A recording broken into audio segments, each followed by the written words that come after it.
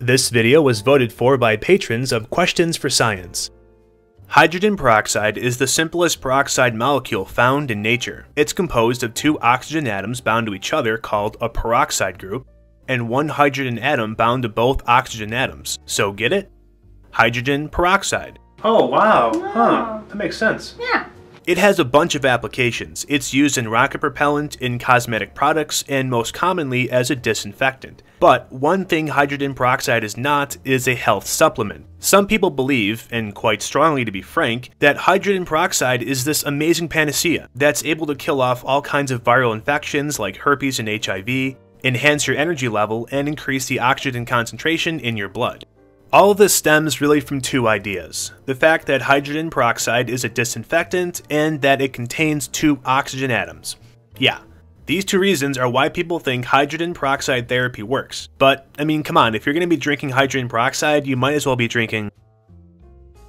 Hydrogen peroxide is an oxidizing agent, and oxidizing agents make great disinfectants.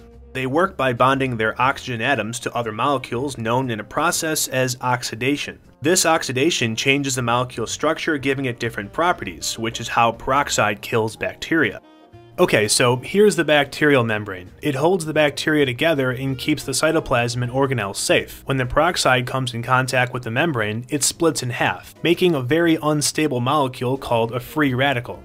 Because it's unstable, it needs to become stable very quickly. It pulls a hydrogen atom from one of the bacterial membrane lipids, but now the lipid contains a free radical which, again, is very unstable. So it takes a hydrogen from a neighboring lipid, causing that lipid to form a free radical. As you can imagine, this creates a very destructive chain reaction. Now, just add a ton more hydrogen peroxide and the entire membrane would become dismantled, causing cytoplasm and organelles to break apart and leak from the bacteria.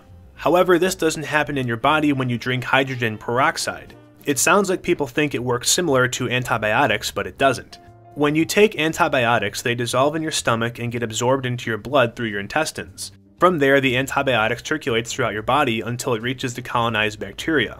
Hydrogen peroxide can't do this in the body. When you ingest it, it's immediately broken down upon contact with your cells. This is because our cells contain a special enzyme called catalase, which breaks down the peroxide into water and oxygen. This explains why when you put peroxide on an open cut, it fizzles and bubbles up, because the cells are converting it into water and oxygen.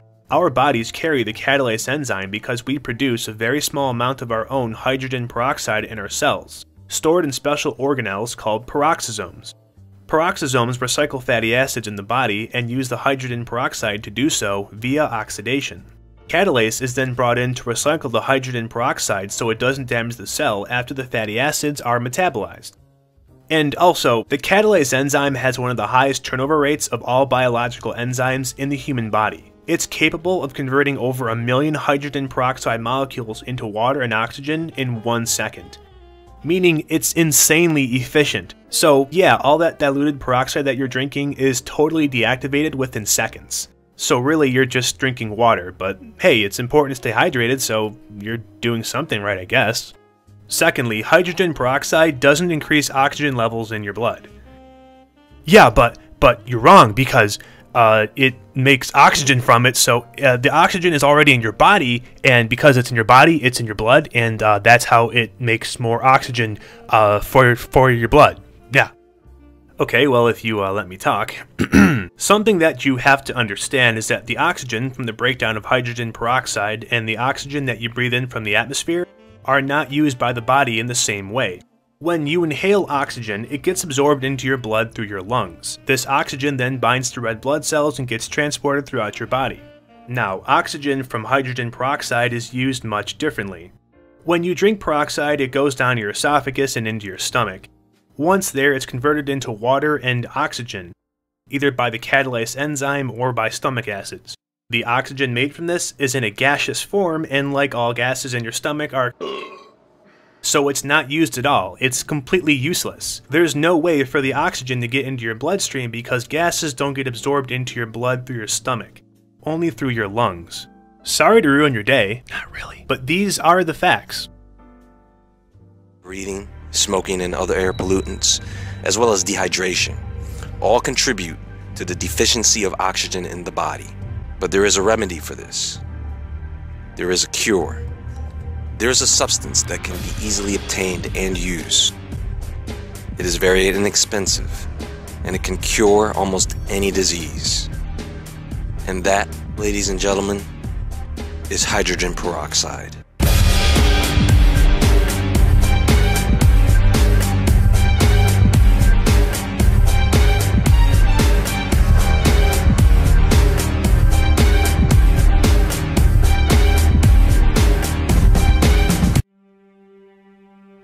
Order to understand how hydrogen peroxide works, you need to first understand what hydrogen peroxide is. Okie doke. Hydrogen peroxide, H2O2, is nothing more than water, H2O, with one extra oxygen atom. Well, and the fact that the second hydrogen atom isn't bound to the same oxygen, and the properties are vastly different, but eh, it's a decent description. Moving on. There are several grades and concentrations of hydrogen peroxide. There is a pharmaceutical grade, which is the grade you will find in the drugstore. This comes in a little brown bottle at a concentration of 3% hydrogen peroxide. The rest of it is purified water and added stabilizers. These stabilizers include chemicals such as phenol, sodium stannate, and tetrasodium phosphate. And even though this grade and percentage of H2O2 may seem great for cuts, burns, and mouthwash, it's garbage. Well, you know, the manufacturers put those stabilizers in there because they didn't think people would actually be drinking hydrogen peroxide. Much like how we never thought people would be eating bleach pods in 2018. But hey, you gotta thin out the herd somehow. Also, food grade 35% peroxide doesn't have stabilizers because it's in a higher concentration and will last longer than a 3% concentration. You can sanitize just about anything with this stuff. Uh, yeah, exactly. It's meant to be used as a sanitizer. You can use it internally to cleanse and heal yourself of almost any disease. Uh, no, this is grossly incorrect. Hydrogen peroxide doesn't kill bacteria or viruses inside your body. The only way it can kill a bacteria is by being directly exposed to it, like on a cut or on food. As said before, hydrogen peroxide is broken down in the body almost immediately into water and oxygen. The preserved molecule never makes it into your bloodstream. Besides, the best way to fight infection or disease is with a healthy immune system. I have done this protocol, and there are several variations of it. But this is basically how it's done. You take your 35% food grade hydrogen peroxide, an eyedropper, and 8 to 10 ounces of distilled water. You take your eyedropper and you place one drop in your glass of distilled water. Hey man, I don't know if you took a second to do the math with this dilution stuff, but it's cool fam. I got you. So, one drop of 35% hydrogen peroxide into 9 ounces of distilled water dramatically dilutes the peroxide from 35% down to 0.007%, which is 428 times weaker than the 3% solution you buy at the drugstore. It's garbage. And even at the high end of 25 drops per 9 ounces of water, it's only at 0.16%. Still 18 times weaker than the 3% solution. This is already an incredibly weak concentration of hydrogen peroxide. And then when you factor in that it's enzymatically broken down once in the body, it's safe to say that virtually 0% of the hydrogen peroxide is left over to have any kind of effect, whether it be good, bad, or neutral on the body. You take your eyedropper and you place one drop in your glass of distilled water.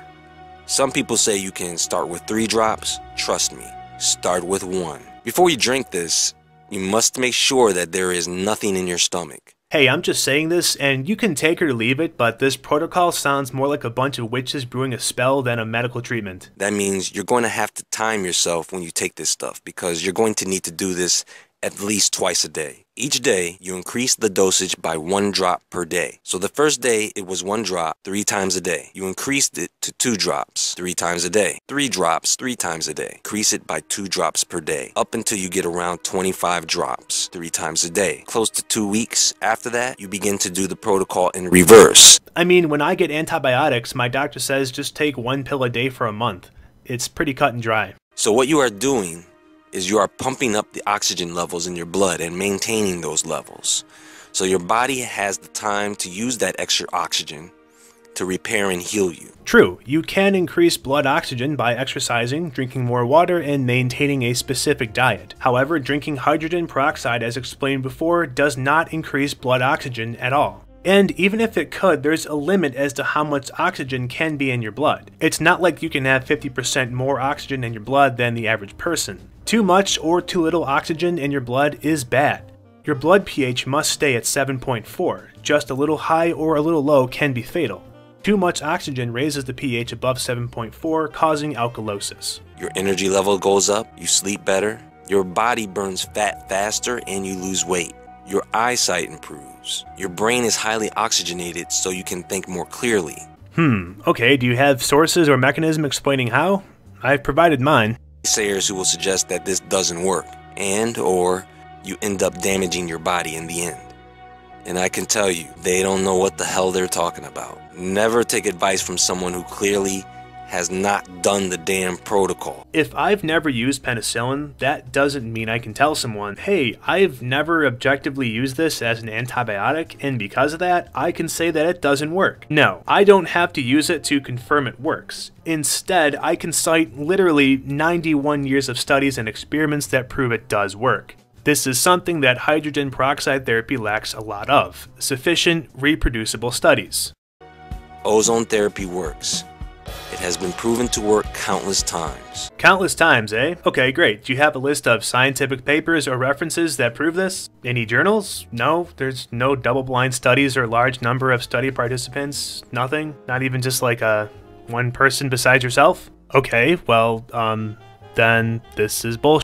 Now, if you want to disregard everything I've said in this video, then the more power to you. But just know this one simple thing. Hydrogen peroxide is an oxidant. It causes oxidation to molecules, which is why it's so effective at killing bacteria. Fun fact, oxidation also causes cancer, which is why antioxidants are important to have in your diet to prevent cancer. This is why you need to eat fruits and vegetables because they contain vitamins. And surprise, vitamins are antioxidants. On the stupid scale, hydrogen peroxide therapy is at a 6 out of 10, and on the harmful scale, it's at a 10 out of 10 as the average untrained person making and drinking their own dilutions of caustic 35% hydrogen peroxide just sounds like a trip to the ER. And just a quick shout out to my patrons for voting for this video and supporting my future projects. Thank you for watching and stay tuned.